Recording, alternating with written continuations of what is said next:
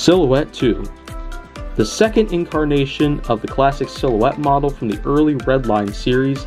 gives us a new generation of detail and reincarnation of all sorts of things that we could never get with most models.